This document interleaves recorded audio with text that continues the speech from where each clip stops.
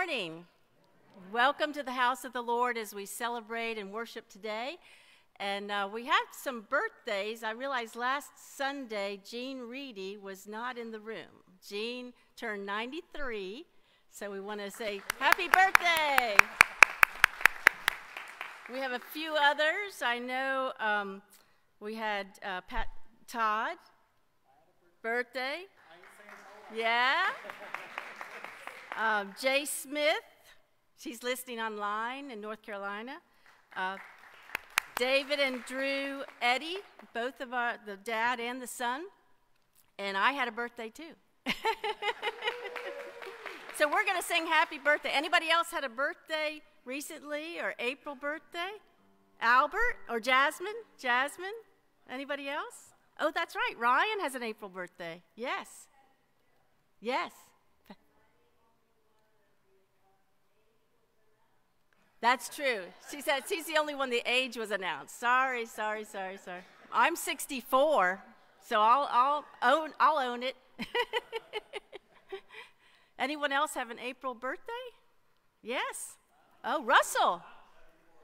Wow, okay. All right. Let's sing happy birthday. Ready? Happy birthday to you. Happy birthday to you. Happy birthday, dear friends. Happy birthday to you. All right. And we're excited today. You'll notice all the wonderful announcements. Uh, tonight we have our 5 to 7 uh, next generation for everyone to come and join with us as we do some special things for outreach and children uh, and a baseball theme. So JoJo is our chef, and Marie will lead our group in doing a wonderful outreach project tonight. So you hope, hope you'll join us for that. You'll notice other things in the bulletin, the upcoming council meeting, uh, the adult enrichment group, and then an open house. This is a big one here. If you'll notice the open house, uh, some of you were not aware um, that the third floor has been entirely renovated by Xceed. It's a preparatory school. It's a high school that gets kids ready for college, and it has um, both hybrid learning with the uh, computers as well as teachers. And May 19th, they've invited us for an open house to see the beautiful renovations, and they're going to provide brunch for us upstairs. So look at the back, and you'll see how beautiful the third floor is looking and how the kids, the students, are excited about starting in August. So that's a wonderful thing for us to support. And now I have Karen Gauss, the chairperson of our staff parish. Good Sunday morning, everyone. Uh, as, as uh, Jill just mentioned, um, as chair, today I have some very exciting news to share.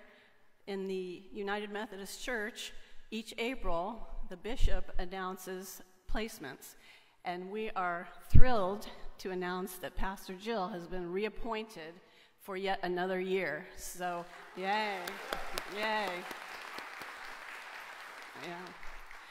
We, are so excited to have her as our senior pastor and uh, to have another year of her fantastic ministry. We're very grateful. She's had a fantastic year. She got engaged to Greg this year. She just had a birthday last week. She uh, just had a brand new baby, grandbaby, uh, baby Drew, uh, just this week. And uh, she's had a lot of exciting things, and we have more exciting things to, uh, to come this year. And uh, please join me in congratulating Pastor Jill. Fantastic news.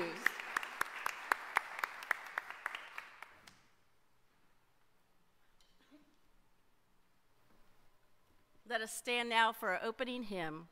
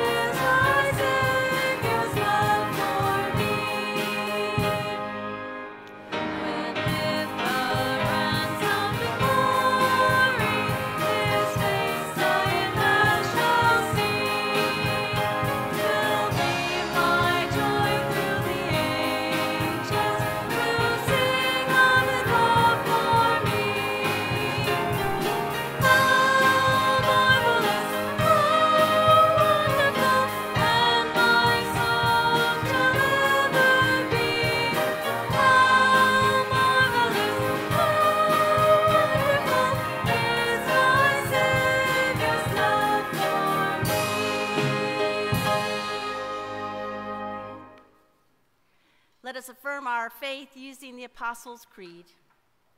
I believe in God, the Father Almighty, maker of heaven and earth, and in Jesus Christ, his only Son, our Lord, who was conceived by the Holy Spirit, born of the Virgin Mary, suffered under Pontius Pilate, was crucified, dead, and buried.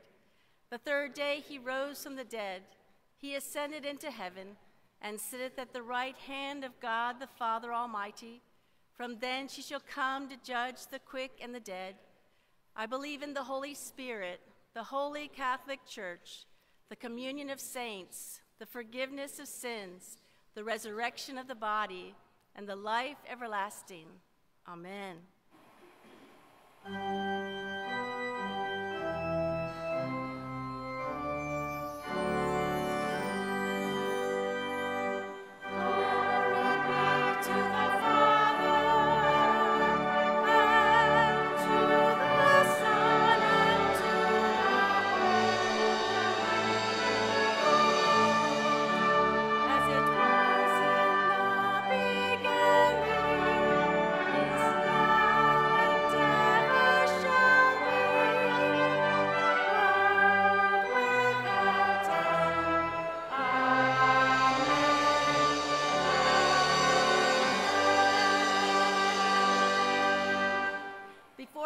Seated, if you'll turn around and wave to your neighbor, make sure you include the balcony and the chapel area.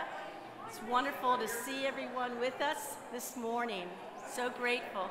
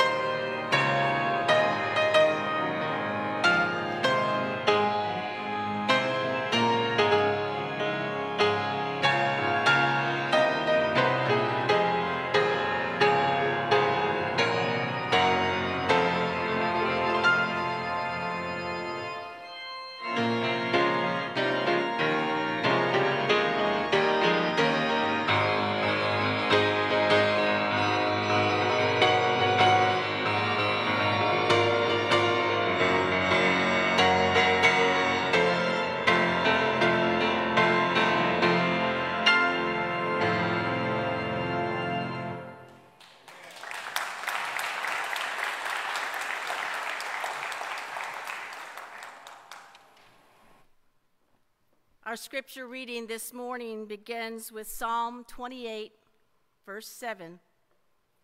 Hear now the word of God. The Lord is my strength and my shield. My heart trusts in him, and he helps me.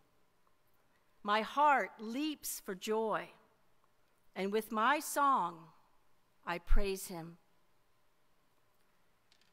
And from the book of Job,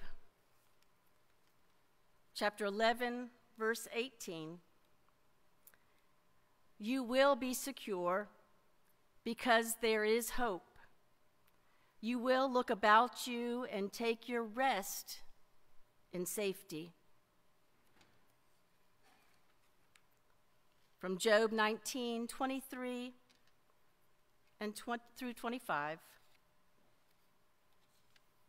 Oh, that my words were recorded, that they were written on a scroll, that they were inscribed with an iron rod on lead, or engraved in rock forever. I know that my Redeemer lives, and that in the end he will stand on the earth. And then finally from Philippians 4:13 I can do all things through Christ who gives me strength. The word of God for the people of God. Thanks be to God.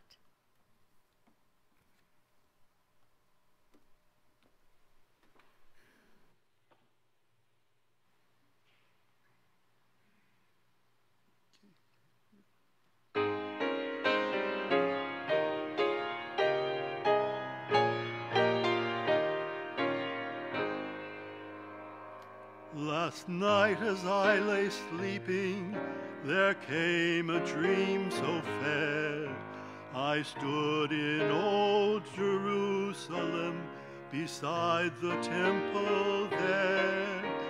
I heard the children singing, and ever as they sang, I thought the voice of angels from heaven an answer rang. I thought the voice of angels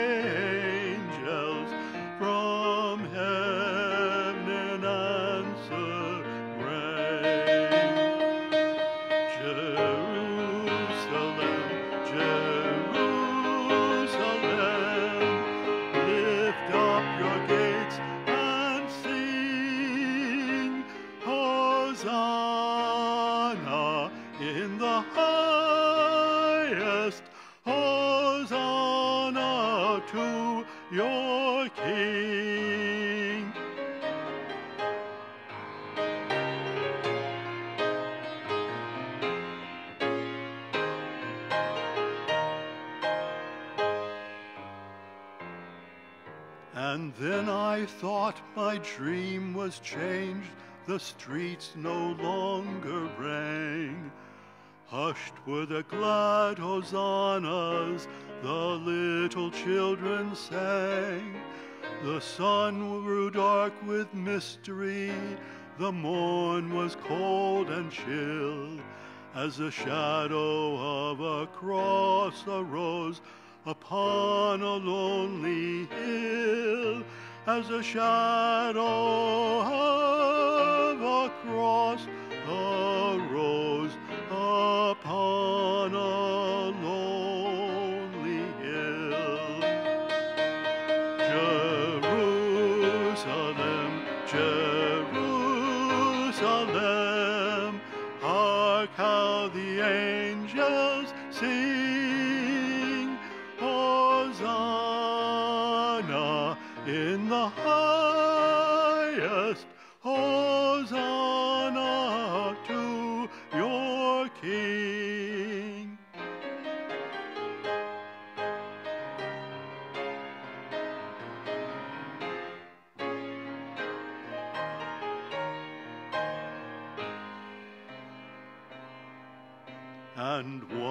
Again the scene was changed, new earth there seemed to be. I saw the holy city beside the tideless sea. The light of God was on its streets, the gates were open wide, and all who would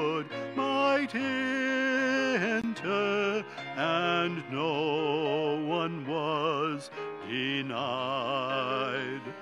No need of moon or stars by night or sun to shine by day. It was the new Jerusalem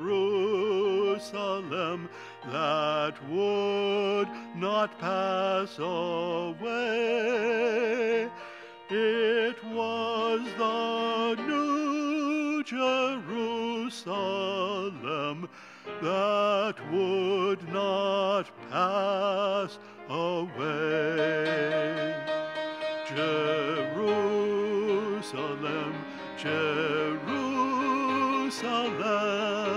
sing for the night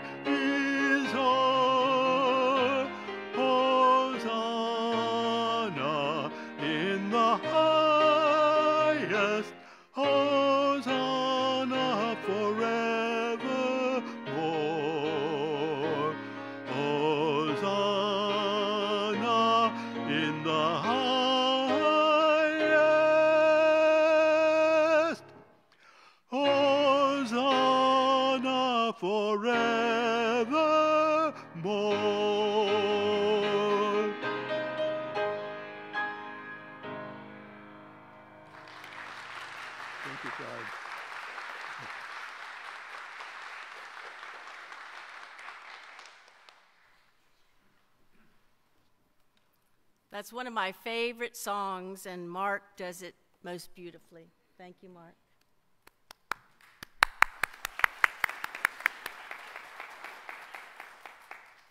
Let us go to God in prayer. Lord, as we come before you, we take to heart the scripture delivered today, the message that you have for each of us, your beloved children, that we might draw closer to you and to one another, that the inspiration of your Holy Spirit would give light and love and hope. And this message we share. In Jesus' name, amen. A lot of times people assume that Easter is one day. You did Easter, you finished Easter, you move on. But there's a season of 50 days from Easter Sunday until Pentecost that we celebrate the resurrection, we celebrate the story of our Lord. The song Jerusalem tells the story from the hosannas to the cross to the resurrection to the new Jerusalem promised in the book of Revelation. As we gather to worship today, we know of situations around the world, within our own congregation, our own community, that challenge us, even push us to consider how Easter makes a difference, how the resurrection power of God is going to work in our own life experience together. When we hear our text this morning, Paul tells us, I can do all things in the one who strengthens me, Christ Jesus. It's comforting to imagine that God is saying to us personally, You don't need to be afraid or overwhelmed. I will walk with you through life. The power, the courage, the strength of Christ is yours. Let me offer it to you. Don't give up. Don't let this discourage you. This is more than a pep talk. This is more than some kind of slogan. Paul is reminding us that the resurrection power in Jesus Christ is accessible to us. We can be resilient, we can persevere. Because we are not alone. For Paul, it was to be able to continue his ministry, even under unfavorable circumstance. Paul had suffered rejection, ridicule, imprisonment. In fact, he is writing this letter to the Philippians while he is in prison. His message is about having the strength to stand when life is difficult. Even when the ground feels like it's shaking, even when you are weary from what life has thrown your way, there is strength to stand. Now, one of the keys to our life in faith is recognizing that we are not alone. Not only do we have the presence and power of God through His Holy Spirit, but we have our community. That is what the church is intended to be that family of faith that comes together to encourage one another. John Wesley said, There is no such thing as a solitary religion. It's not you and God off in some private little place in the world. It's you and God, the presence of His Spirit, and your gathered community of faith and friends. Our text from Job finds us first telling his friends that sometimes their advice or their analysis of his situation is cold and hurtful, but what he really needs is a companion on the journey who trusts in a good God. When Job declares, I know my Redeemer lives, he's offering a statement of faith, a trust in God, even in the future. No matter what my circumstance, God lives. He is Redeemer, He is a Savior. God prevails. God is God, and I am not. From the earliest pages of Genesis throughout the entire Bible, we see that lives have been transformed and touched and shaped through God's presence.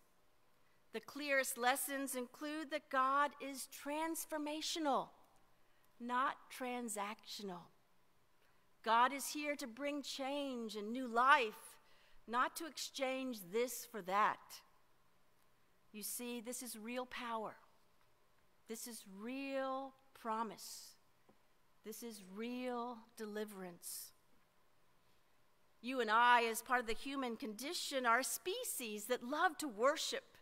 We might worship a ball team, we might worship our new car, we might worship our job, but there's a reason in the earliest chapters of the Old Testament that God says, Have no other gods. It's not only a statement of faith, it's a statement of access. Where will you find your strength? What will you worship and connect yourself to to make life meaningful? If you don't worship the divine, you might begin to worship things that distract you, anything that gets your attention, and you will be ill equipped to face life to deal with challenges. In Genesis, Adam and Eve are given choices and advised not to taste of the tree of good and evil. Good is tov in Hebrew, evil is varah. Don't touch good and evil all at once. You new creation, you Adam and Eve, new people. It's going to be too much for you. It's like telling your child, don't cross the street without holding my hand and looking both ways.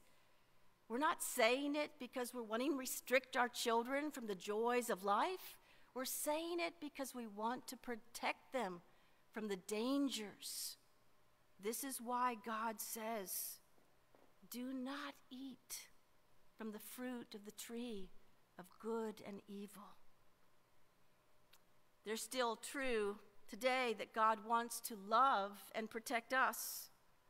while at the same time offering to us many choices every single day. King David in Psalm 28 7 tells us, The Lord is my strength and my shield. My heart trusts in him, and I am helped. Therefore, my heart greatly rejoices. With my song, I will praise him. Job 11 told us, You will be secure because there is hope. You will look about you and take your rest in safety. This is coming from a man who has experienced the worst of the worst. You will be secure because there's hope. Now, in many ways, the lives of David and Job and Paul give us hope. They are testimonies to how God has operated in the world throughout history. The God of our faith story raises us up. The God of our faith story is a deliverer, a good God. In the Hebrew, it's very interesting that the word for adversity and difficulty is rah rah or vah while the word for healing is rafa. Take what is evil, take what is adverse, and let God heal it. Rapha. Jehovah Rapha means God heals us even through the worst, the worst evil, the worst pain, the worst adversity. Christ in us gives us strength. You see, what we have to draw from is so much bigger than ourselves. Some of you have lost people who are dear to you. Some of you have taken treatment for cancer or rehabilitation after a difficult health battle. Some of you are dealing with financial crisis or relationship difficulty. Some of you are having to make very big decisions about work or family, your future. Some of you are caring for aging parents. Whatever your circumstance, I'm here to tell you you can do all things through Christ who strengthens you. You are not alone. God is good. And like a good parent, God is saying to you today take my hand. Let us look both ways before we cross this street, this difficulty, this opportunity, this step. Take my hand. Let us look both ways. We can do this together. There's a wonderful song by a singer who just passed away this week. Her name is Mandisa. Her song is called Overcomer. Just take a breath and don't forget to hang on to his promises. He wants you to know you are an overcomer. Stay in the fight until the final round. You're not going under because God is holding you right now. You might feel down for a moment, feeling like it's hopeless. That's when He reminds you that you are an overcomer. The same man, the great I am, the one who overcame, is living inside of you. So just hold tight. Fix your eyes on the one who holds your life. There's nothing he can't do. At its core, the message for today is talking about a different kind of victory victory in Jesus. It's so much bigger than your sports team winning an event, even though you're thrilled when they do. It's so much bigger than a career launch or a new opportunity. This is the victory of knowing and trusting that God is good and God has your back. and invites you to be part of a community that will embody this fact. You are not alone. God is with you. David spent many years running from King Saul's jealousy and torment before he became Israel's most notable king in history. Job spent years of loss and grief and being overanalyzed by his friends who thought they were faithful before God restored his life, even with a double portion. Paul went from being a persecutor to a man of faith in Christ. He was a prisoner, he was released, and he impacted churches through letters for good and for God. David won his battles through faith in God. He embodied what it means to listen to God. Even when he stumbled and fell, he repented and returned. He knew his life had a higher purpose. He knew that God could use him for greater things. You see, Job knew that choosing faith in a good God wouldn't take away the pain, it wouldn't erase the suffering, but it would transform his pain into a testimony for God is good. The pain would not subside, but his trust in God would take him to a new future. In Romans 8, it says, Paul told us the same way the Spirit helps us in our weakness, we often do not know what to pray, but the Spirit Himself intercedes on our behalf. We may never know the why of our struggle. The why is usually the worst question to ask because you go in a spin downward, downward, downward, downward. The better question is not to ask, why did this happen to me? But what for? And how can I use this to show my complete trust in a good God who will deliver me? Not the why, but the what for. How can I be a testimony to God? Others may not be able to grasp why we could believe in a good God when things seem so fragile and tentative and difficult. You see, anyone can sing a song of praise on a good day, but our witness is to sing that song of praise even in the most difficult time to persevere, to be resilient, even in the most difficult season of life. It's true, sometimes the difficult season is the one that brings us closest to God. When I moved here in 2015, I was coming to live closer to my dad, who had Alzheimer's. Two years earlier, after 28 years of marriage, I went through a divorce. My dog, a beautiful husky, constant companion for 14 years, passed away. My sister and mother had passed. I had a lot of heaviness in my life. Yet my friend and the bishop of Florida, Ken Carter, said I might have something for you an amazing place, amazing people to serve amongst in Fort Lauderdale. My two sons were thriving, one in college, and one early in his career, I began to come back to home. I grew up in Miami, and I saw people I knew from years ago high school friends, college friends, five who joined this church simply because I showed up. And then they got to know you. At this juncture, I step into my 10th year as your pastor. All I can say is God is good. I am certainly one of those overcomers. I have a lot of good news this year.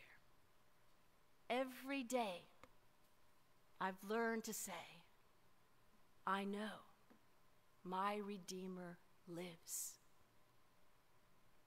In the name of the Father, and the Son, and the Holy Spirit. Amen. Our song of reflection on Christ, the solid rock I stand.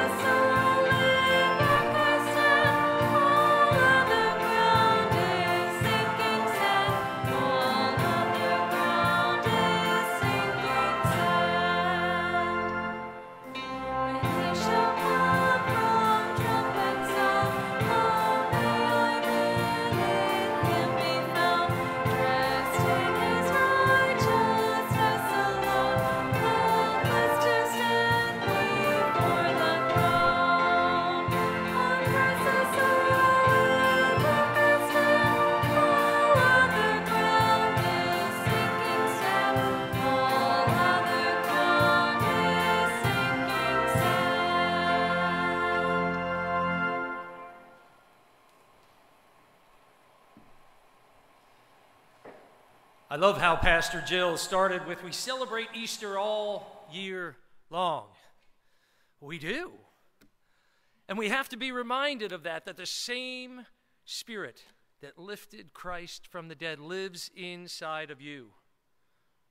And so, as we go into this pastoral prayer, I, I want you to reflect on how Easter, yeah, the chocolate's probably gone, unless it's in my house but how that Easter Jesus makes a difference in your life every day. Do you have to remind yourself daily? Are you leaning on your family of faith? That's who we are in this church. And it's not just to come and smile and say, Happy Sunday, but yeah, there are some days you're going to have a rough time. And so it is sometimes to come and smile and say, I need some help. Lean on your church family. That's what we're here for. Will you please bow your heads and let's go to the Lord in prayer? Gracious Heavenly Father, our life, the way we live as Christians, is a lived expression of Jesus' story, of the resurrection story. You offer the power of Christ in me. The way that we're able to rejoice to pray and to connect with you, the way that we get the strength to stand is to let your truth, the truth of your word, be louder than our circumstances and this crazy world. Lord, we have some specific prayer concerns and prayer praises. Lord, we are lifting up those situations uh, around the world, that turmoil all of those things that are happening when we turn on the news and just think, Lord, breathe on this. Put your hand of peace on this world. Father God, we especially lift up Israel and what's happening in that region of the world. Father, for the specific prayer request for health, for financial, for relationships, for those students that are now looking at the next step in school. Where do they go next year? Or what is their next chapter of life? We lift them up. And now, Father God, we will take a moment of silence to share with you what is most pressing on our individual hearts. Hear our prayer.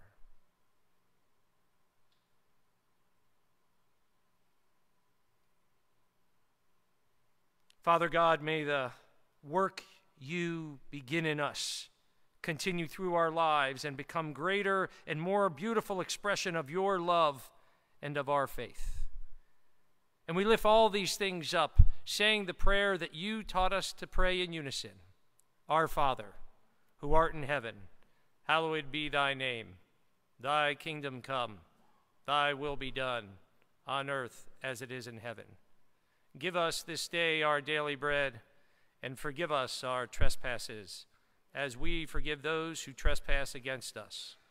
And lead us not into temptation, but deliver us from evil. For thine is the kingdom, and the power, and the glory forever. Amen.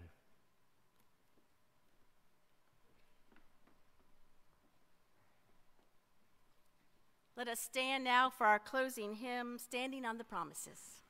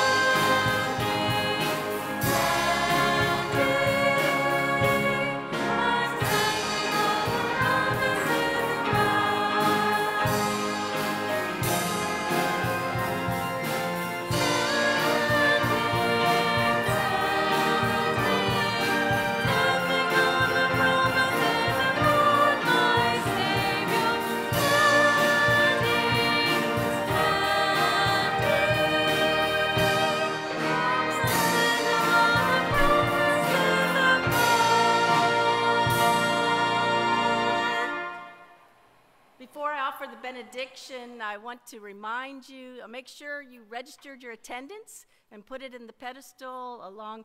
Uh, that's also where we receive our tithes and our offerings or gifts. And uh, that helps us know who was here and how we might reach out and connect with you. We're excited to have each of you with us this morning. Let us receive God's blessing and benediction. The Lord bless you and keep his face to shine upon you, that his love might shine through you, that you would receive the forgiveness of your sin and stand firm in your faith. He gives us strength to stand, for we can do all things through Christ who strengthens us. In the name of the Father, and the Son, and the Holy Spirit. Amen.